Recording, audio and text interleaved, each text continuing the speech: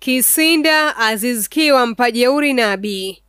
Nasredi Nabi, kocha mkuu wa Yanga, amesema nyota wake wote kikosini hapo akiwemo Twisila Kisinda na Stefan Azizki msimu huu atafanya kazi kubwa kitaifa na kimataifa. Yanga inawavutia kasi Al Hilal ya Sudani wanaokwenda kucheza nao mechi ya ligi ya mabingwa Afrika hatua ya kwanza. Mechi ya kwanza ni Oktoba 8 mwaka huu uwanja wa Benjamin Mkapa jijini Dar es Salaam. Akizungumza na Sport Extra, Nabi alisema kwamba na nukuu alichokizungumza Kwenye mechi zilizopita tumeona namna tulivyotengeneza nafasi na na kushindwa kuzitumia. Hilo limeonekana na ninaamini wakina Tuisila Kisinda pamoja na Stefan Aziz Ki watatufanya tuwe imara kwenye eneo la kiungo. Limeongea na wachezaji kuhusu umuhimu wa kushinda mechi zetu pamoja na kutumia nafasi.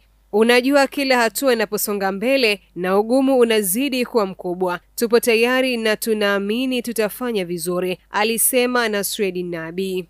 Ni kushukuru sana mwanamichezo kuendelea kutufuatilia kupitia YouTube chaneli hii, na kama bado hujasubscribe basi jua kwamba hujachelewa. Bonyeza alama nyekundu iliandikwa subscribe, kisha turn on all notification ili uweze kupata update mbalimbali mbali za kimichezo. Firi awachana ukweli wapya. Mshambuliaji wa Simba Mzambia Moses Firi amesema kila mchezaji mpya katika kikosi hicho anatakiwa kujitoa kulingana na majukumu ya nafasi yake ili kuongeza ubora wa timu kuwa tofauti na msimu uliopita.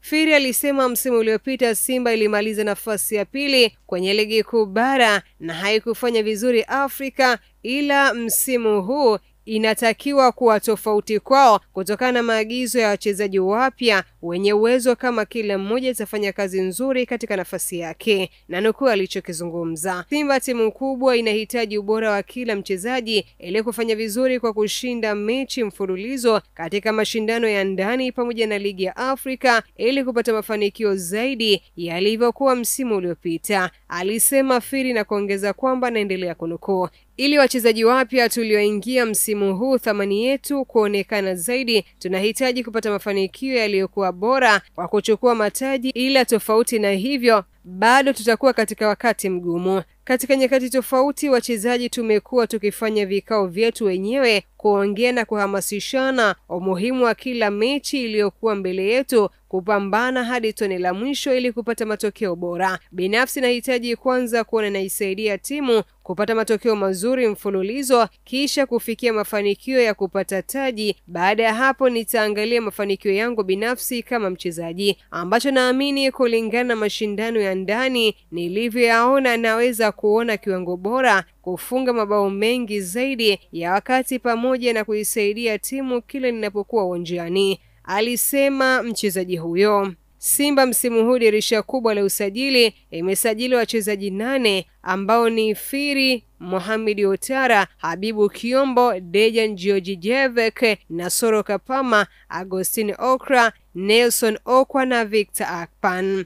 Firi ndiyo mchezaji mpya aliyekuwa katika kiwango bora hadi sasa. Ameifunga mabao matatu kwenye mechi nne za ligi na alifunga mabao mawili ligi ya mabingwa Afrika dhidi ya Nyasa Big Bullets aliwafunga Zambia na hapa Tanzania mchezo wa marudiano. Otara na Kiombo walikuwa wakicheza kikosi cha kwanza wakati kikosi hicho kikiwa chini ya kocha Zoran Maki. Dejani katika mechi saba za kimashindano hadi sasa amefunga bao moja huku akiwa hana uhakika wa kucheza kikosi cha kwanza, wakati Akpan hajacheza mechi yoyote ya kimashindano. Okra ameifungia Simba bao moja kwenye mechi za kimashindano akiwa na uhakika kucheza kikosi cha kwanza, wakati Okwa akiwa mchezaji wa kuingia kipindi cha pili, ila amefunga bao moja katika mechi ya Simba Day dhidi ya St George ya Ethiopia.